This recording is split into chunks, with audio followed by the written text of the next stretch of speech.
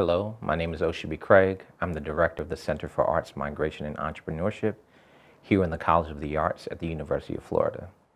Across millennia, the arts have spurred human creativity, composition, critique, and innovation, alternately constructing and deconstructing meaning and purpose.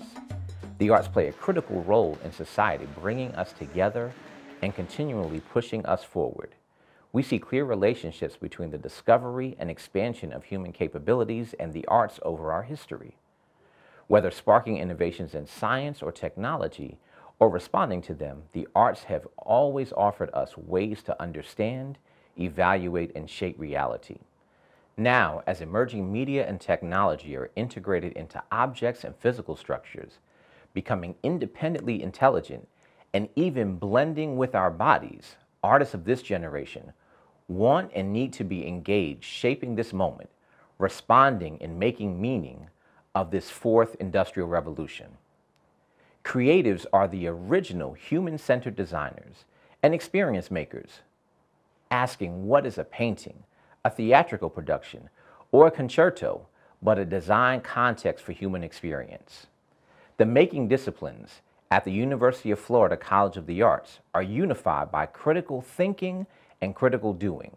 We are specialists in the relationship between what is being made, its users and audiences, and how that relationship can catalyze a more relevant, equitable, and just society. We are experts in possibility, probing with questions to focus the lens of invention towards experience that centers human beings.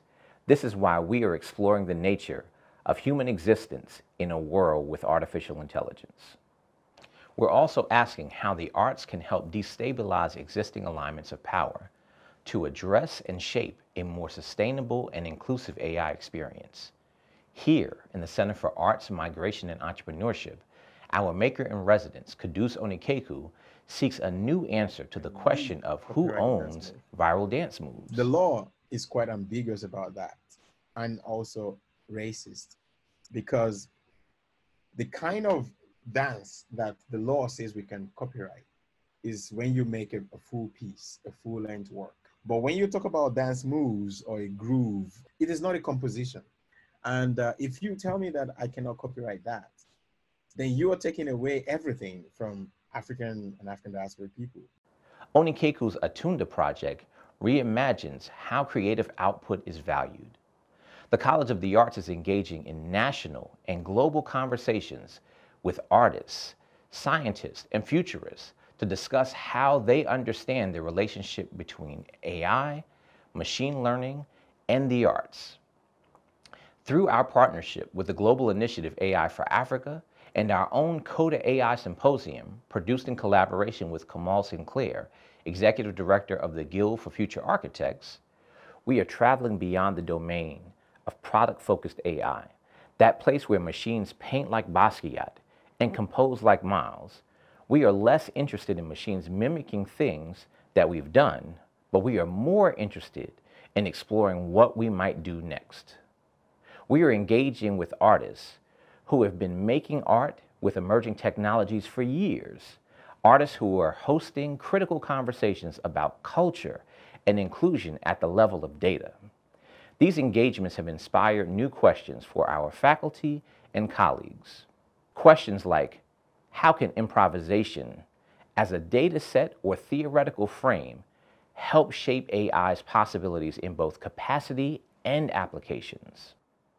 Dancers, musicians, actors, and many other artists and makers are trained deeply in improvisation, also known as decision-making amid shifting contexts and conditions. Additionally, many, many disciplines have studied human movement resulting in large but disparate data sets. Traditional data collection requires manual input by professionals who annotate the recorded data through a watch and pause process. This is time consuming and prone to human error.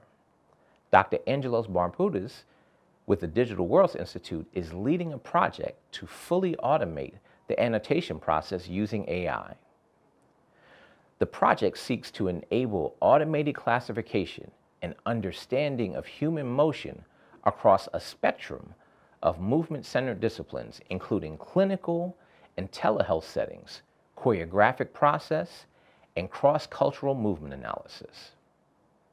The College of the Arts' expertise in these spaces will contribute to UF's AI initiative in education, movement analysis, human-machine performance systems, hybrid cyber-physical environments, dynamic system simulation, new IP, entertainment, and much more. Our AI-focused arts faculty will contribute to UF's AI research and curriculum in ways that will expand our students' capacity to shape future society for the greater good.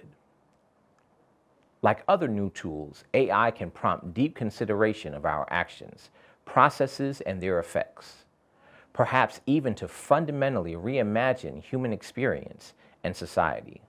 And what skills are necessary for such a reimagination? Critical thinking and critical doing at the heart of the artistic process.